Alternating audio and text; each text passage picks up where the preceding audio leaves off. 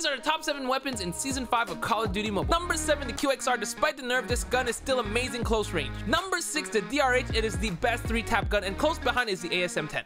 Number 5, the Bizon. Yes, it did get slightly nerfed, but it still has a great recoil, and it still has a 64 round mag. Number 4, the Holger. This gun is absolutely fantastic, and I don't like using any magazine, but you can if you want to. Number 3, the QQ9. With the nerf to all the other guns, this gun has basically got untouched, so it's moving itself up to number 3. Number 2, it is the AS Val. It is one of the better guns, if not the best gun in the game. It's absolutely fantastic, and you can laser people. And number 1, the Thermite. The Thermite is the best weapon.